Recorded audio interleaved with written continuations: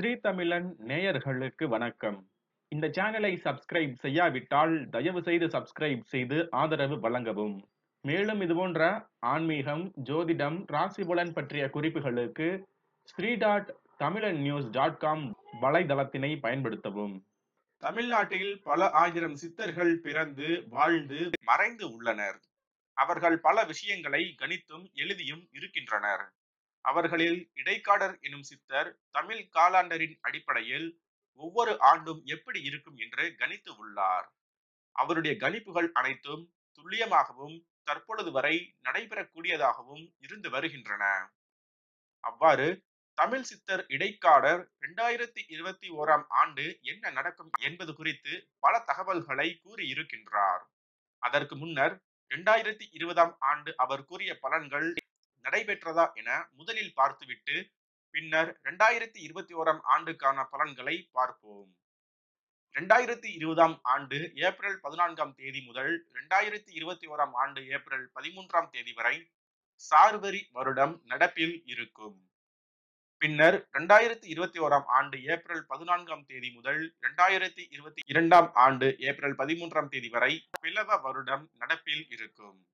இந்த சார்வரி வருடம் குறித்து இடைக்காடர் தன்னுடைய பாடலில் குறிப்பிட்டு உள்ளார்.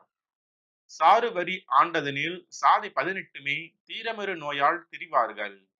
மாறி இல்லை பூமியானது விளைவில்லாமல் புத்திரரும் மற்றவரும் ஏமமின்றி சாவார்கள் இயம்பு. இந்த பாடலில் சார்வரி வருடம் முழுக்க எவ்வாறு இருக்கும் என கணித்து உள்ளார்.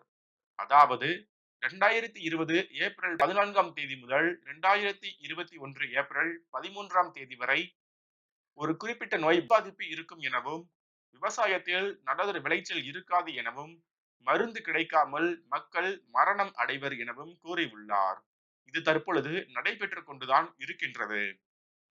இரண்டாயிரத்தி இருபத்தி ஓராம் ஆண்டுக்கான பாடலில் பிளவத்தின் மாறி கொஞ்சம் பீடை மிகும் ராசர் ஜலம் மிகுதி துன்பந்தருக்கும் நலமில்லை நாலுகால் ஜீவனெல்லாம் நாசமாம். வேளாண்மை பாலுமின்றி செய்புவனமும் பால் என்று தன்னுடைய பாடலை எழுதியுள்ளார். இந்த பாடலானது இரண்டாயிரத்தி இருபத்தி ஓராம் ஆண்டு ஏப்ரல் பதினான்காம் தேதி முதல் இரண்டாயிரத்தி இருபத்தி இரண்டாம் ஆண்டு ஏப்ரல் பதினான்காம் தேதி வரையிலான பலன்களை குறிப்பிடுகின்றது. அதன்படி இந்த ஆண்டு பண பிரச்சனை பணத்தட்டுப்பாடு ஏற்படும். அரசாங்கத்தினை ஆள்பவர்களுக்கும் ஆட்சி செய்பவர்களின் உயிருக்கும் ஆபத்து உண்டாகும். வேளாண்மை நன்றாக இருக்காது. கால்நடை உயிரினங்கள் கடுமையாக பாதிக்கப்படும். கடுமையான உணவு பிரச்சனை உண்டாகும். அதன் விளைவாக கால்நடைகளும் பிற உயிரினங்களும் உணவின்றி மடியும். நிலமும் பாழாகும். அத்துடன் நிலத்தடி நீர் மட்டமும் அதிரடியாக குறைந்து போகும் என்று குறிப்பிடப்பட்டு உள்ளது. எப்பொழுதும் சித்தர்களின் வாக்கு நிச்சயம் பலிக்கும் என்பது நிதர்சனமான உண்மை. எனவே நாம் தான் நம்மை முன்னெச்சரிக்கையுடன் பார்த்து கொள்ள வேண்டும். இந்த வீடியோ பற்றிய தங்கள் கருத்துக்களையும் கமெண்ட் பாக்ஸில் தெரிவிக்கவும். மேலும் இது போன்ற வீடியோக்களுக்கு ஸ்ரீ தமிழன் சேனலை சப்ஸ்கிரைப் செய்யவும்.